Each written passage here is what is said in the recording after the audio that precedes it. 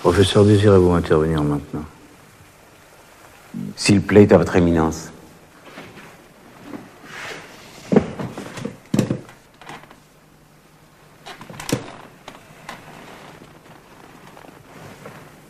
Frère Bartholomé,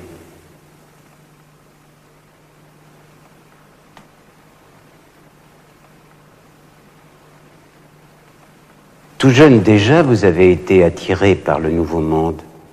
J'y suis parti à 18 ans. N'y avez-vous pas reçu des terres que vous avez administrées Si, je les ai même bien gérées, je crois. Plus tard, après votre ordination, n'avez-vous pas chanté votre première messe dans le Nouveau Monde Si. Devenu membre de l'Église, n'avez-vous pas tenté à plusieurs reprises de fonder une colonie, de réunir autour de vous des indigènes et des Espagnols, et de les faire travailler J'ai essayé, à Kumana en particulier. Vous étiez partisan d'une conquête pacifique. Vous vouliez établir le pays de la vraie paix. Plus tard, au Guatemala. N'est-il pas vrai qu'un échec sanglant s'ensuivit? À Kumana, oui. Mes associés espagnols se sont révélés des loups enragés. Ne trouvez-vous pas étrange que la faute en revienne toujours aux Espagnols? Que voulez-vous dire? Étrange?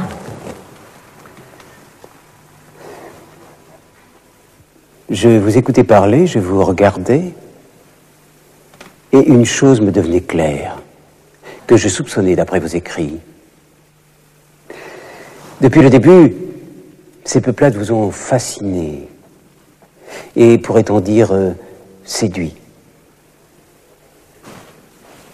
Pourquoi, je ne sais pas, mais on voit bien que vous parlez avec excès. Je parle de ce que j'ai vu. L'excès dans les faits, il n'est pas dans mes paroles. Cependant, je ne vous apprendrai rien en vous disant que des voyageurs très raisonnables, et qui, comme vous, sont allés là-bas, vont jusqu'à vous accuser d'avoir par moments perdu la tête.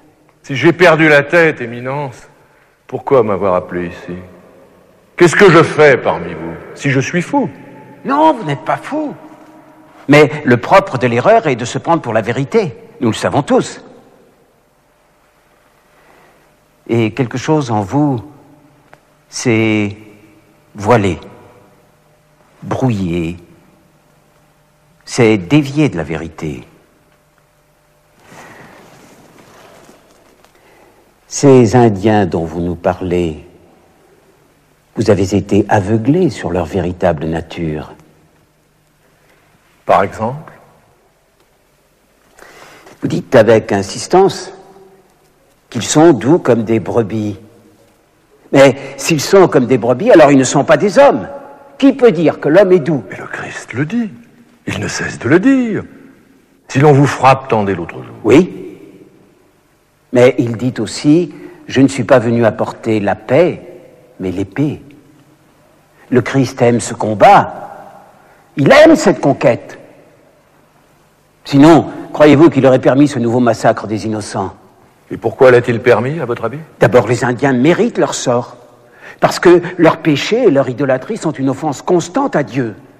Les guerres que nous menons contre eux sont justes. Mais de quel péché parlez-vous? Qui est brouillé ici? Qui est aveugle?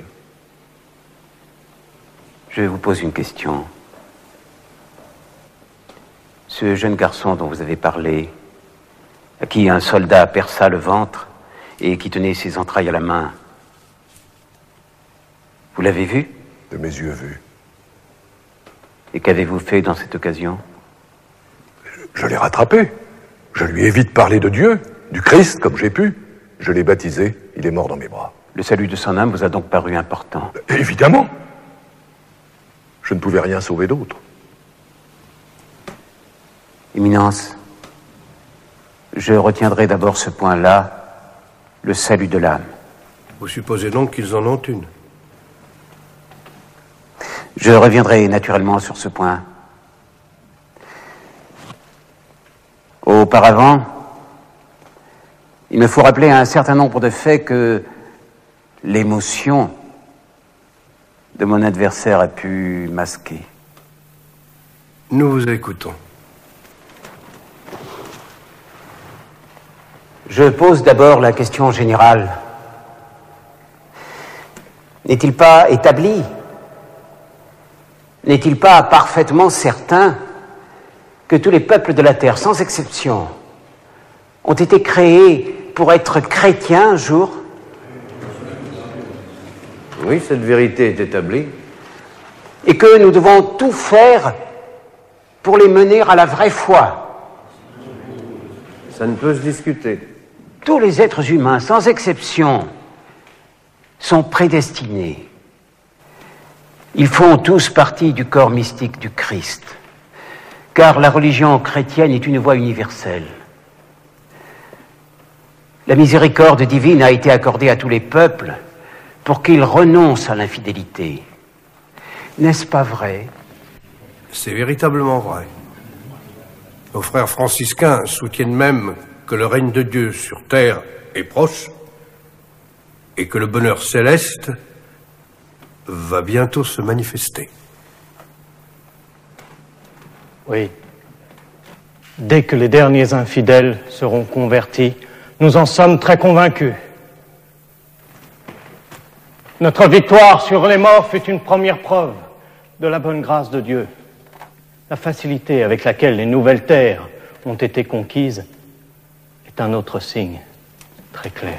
Et comment les Indiens pourraient-ils croire que nous agissons au nom de Dieu? Partout où nous allons, ils nous appellent Yarès, ce qui signifie démon. Pour eux, c'est nous qui venons de l'enfer et qui avons le diable pour maître. Vous le croyez?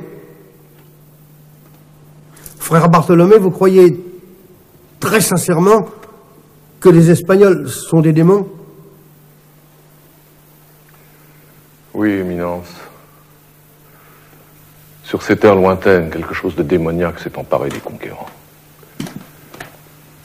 Sont devenus des démons, oui, je le crois. Des démons. Oui. Si bien que la foi que j'apporte apparaît comme travestie, comme déformée. Quel rapport à l'évangile avec les bombardes? Comment puis-je prêcher? Au lieu de les convaincre, à cause du sang qui nous accompagne, nous contrecarrons le dessein de Dieu? Puisque vous dites que les indigènes sont nos semblables, ils sont donc aussi des démons. Pardonnez-moi, Éminence, euh, je ne peux recevoir cet argument, il est mal articulé. Eh ben, Redressez-le. De part et d'autre, ils sont des hommes, mais la soif de l'or transforme les nôtres en démons. Continuez, professeur.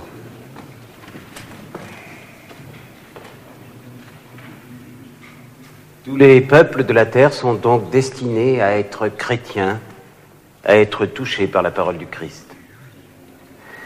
Or, voici que nous découvrons une population inconnue qui n'a jamais entendu parler de notre Seigneur, de la rédemption, de la croix. Ah, mais si On a trouvé des traces, des croix Non Non Rien de sérieux.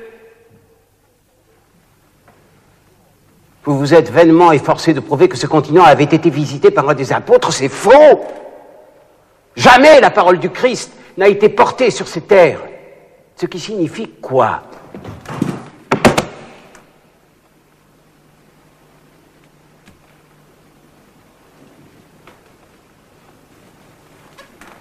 Ce qui signifie qu'il ne s'agit pas de créatures reconnues par Dieu. Et je vais le prouver. D'abord, comme on l'a dit, par l'extrême facilité de l'action. 300 Espagnols soumettent un empire fort de 20 millions d'habitants. Et on n'y verrait pas la main de Dieu Aucun exploit dans aucun temps n'a pu se comparer à cette conquête. Même la maladie était de notre côté. L'épidémie de petite vérole fut le travail de Dieu pour éclaircir la route. Les idolâtres mouraient comme des punaises, car Dieu désirait les éliminer.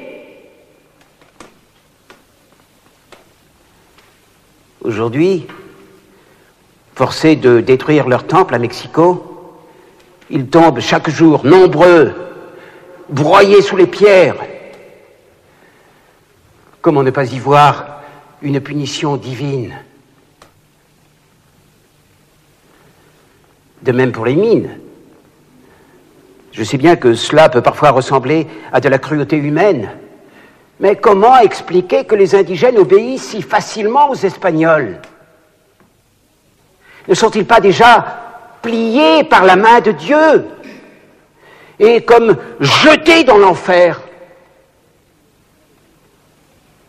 On a dit aussi que dans les mines, ils meurent victimes de leur libertinage, de leurs pratiques sodomites. Non mais qu'est-ce que j'entends Leur libertinage dans les mines, mais je dors ou je suis éveillé. Frère Bartholomé, Éminence, est-ce que je dois rire ou pleurer, qu'on me le dise? Taisez-vous en tout cas. Me taire? Mais je ne le peux pas Vous prétendez reconnaître partout les signes de Dieu? Qu'est-ce que ça veut dire? Ça veut dire ne voir que les signes qui nous sont favorables. Évidemment, mettre Dieu de notre côté. Dire Dieu, c'est mon intérêt. C'est ce qui justifie mes crimes. Cette fois-ci, vous allez trop loin. Personne ici ne peut douter du choix de Dieu. Je vous demande catégoriquement de vous taire. Reprenez, professeur. Assimiler les